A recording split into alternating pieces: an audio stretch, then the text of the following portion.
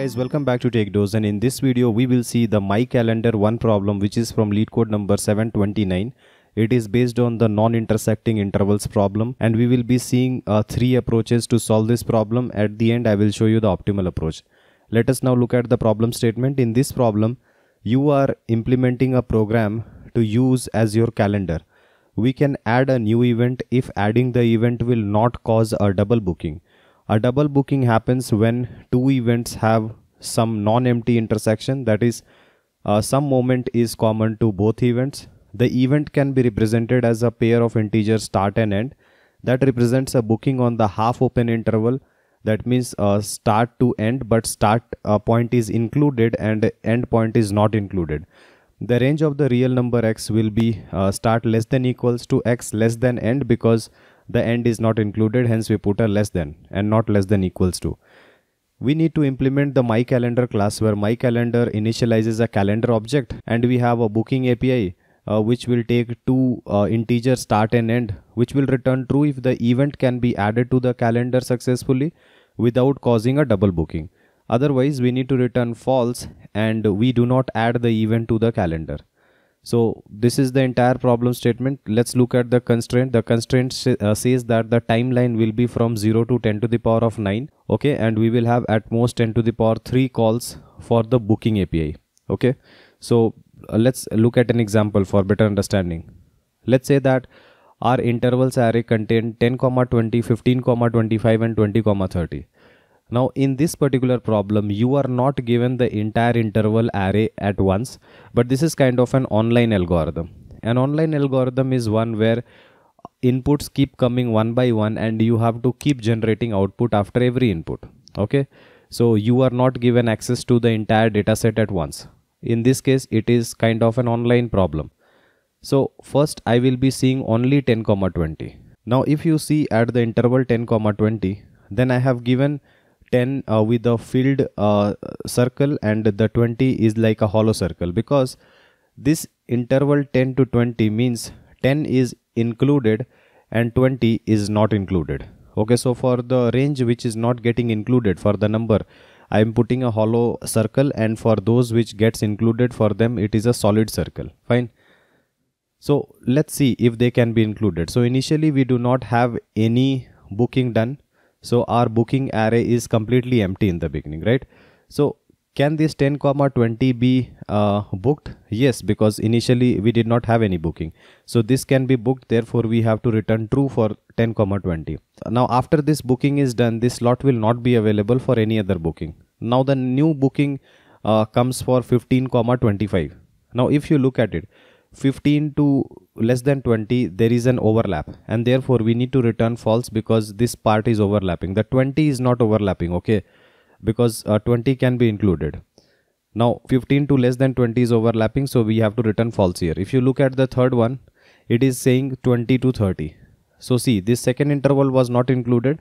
So till now we have included uh, 10 to 20 but not including this 20 so can we include 20 including 20 to less than 30? Yes, because 20 was not included so I can take it and all the range is outside of our booking range, right? So simply we have to return here true.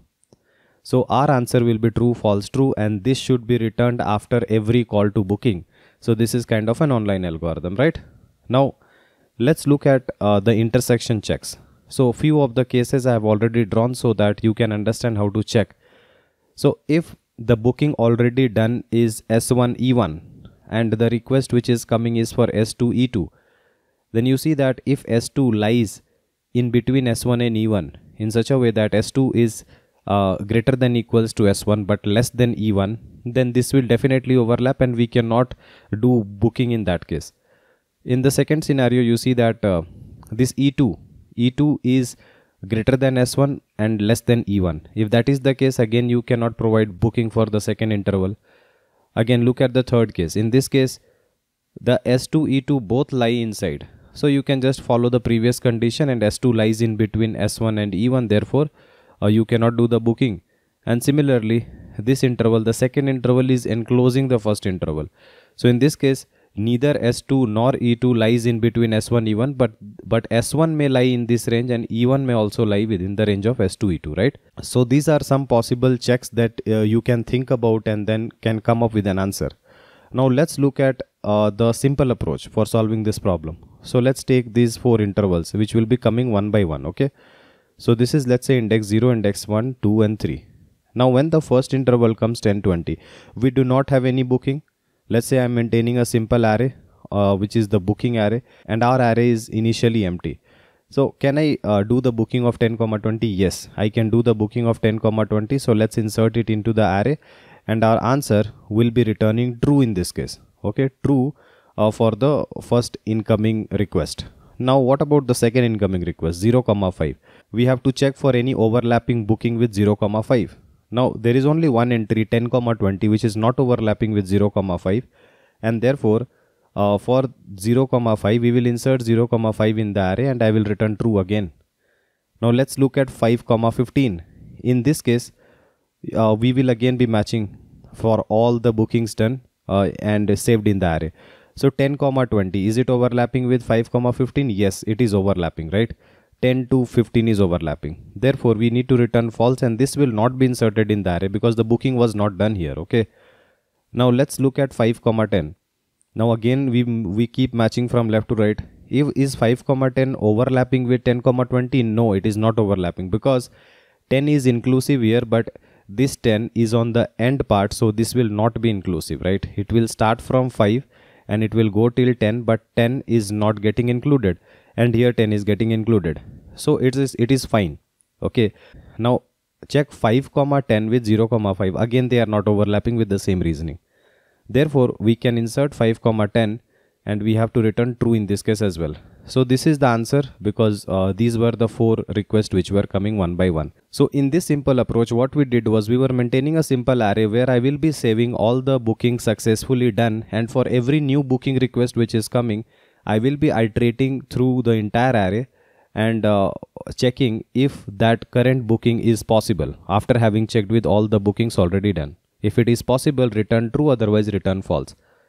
So for every item coming, we might end up iterating through n number of bookings because all the bookings might have been done right so in this case the time complexity will be order of n square and since all the intervals can be saved in our booking array therefore the space complexity will be order of n so what else can we do apart from this simple array the second uh, thing that we can try is using a sorted list and applying the logic of insertion sort right so I have already made a video on insertion sort. You can just click on the I button or get the link from the uh, description below and check it out. Uh, let's look at the solution here. So in this solution, we will again maintain a similar array, but then this array will now be sorted. Fine.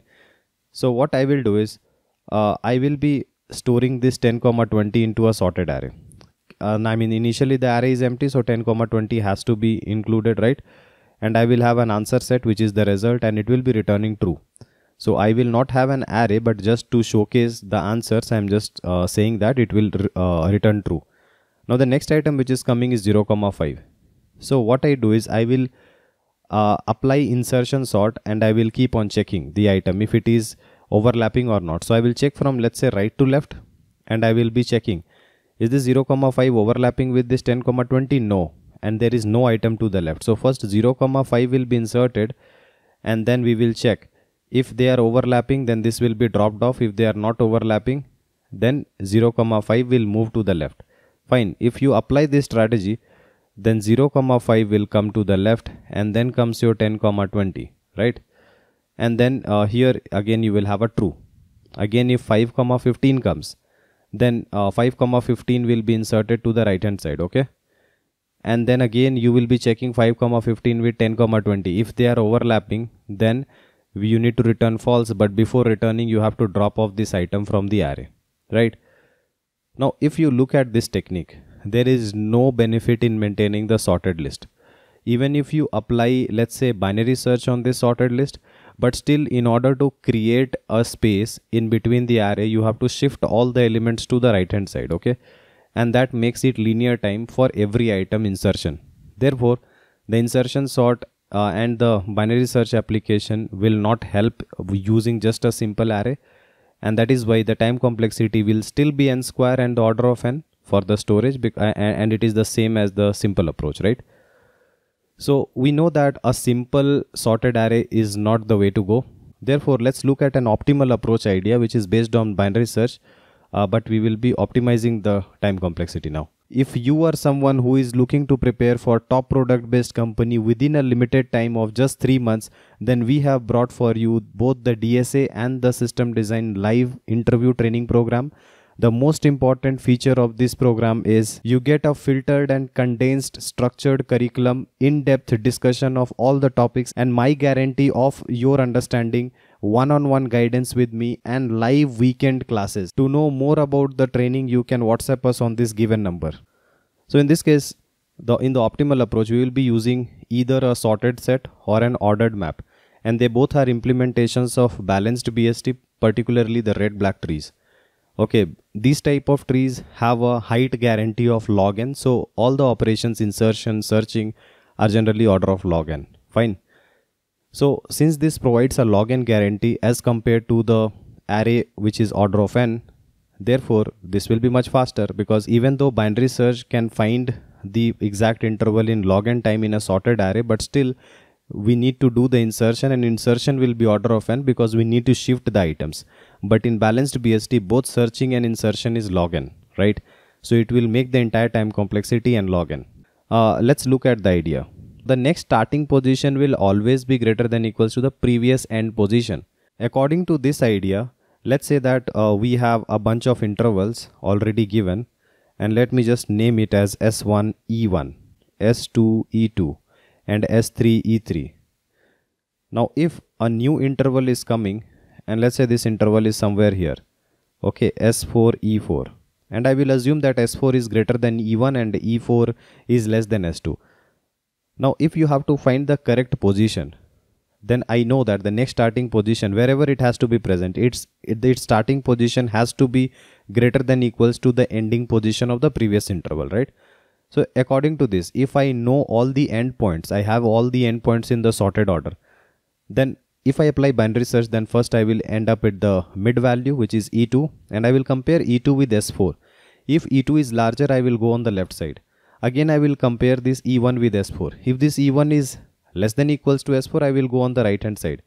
And this is where it ends. Therefore the previous one was S1 E1 and S4 has to be inserted after E1. Before insertion we have to check that S4 must be uh, greater than equals to E1 and and and similarly this e4 has to be less than s2 okay? E4 should be less than equals to s2 simply. So this condition should suffice. Now let me show you the binary search uh, apis which are available. So there are two types of binary search popularly used which is lower bound and upper bound. If you have a sorted array with duplicates then if you apply lower bound on let's say 2 then it will give you the index or the iterator of the first occurrence of 2 which is 1 okay? And if you apply upper bound on the same element 2 then it will give you the first element which is larger than 2 it will return the index or the iterator.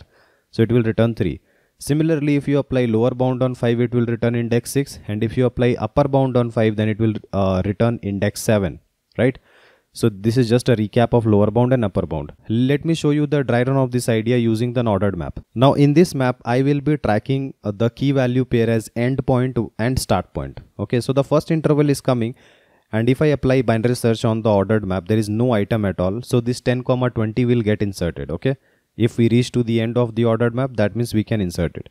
So if 10 comma 20 is inserted, I will insert 20, which is the end point and the, and the starting point is 10, right? So let's say uh, we have inserted 10 comma 20 here 10 comma 20. So 20 is exclusive and 10 is inclusive. Okay and we will return true in this case.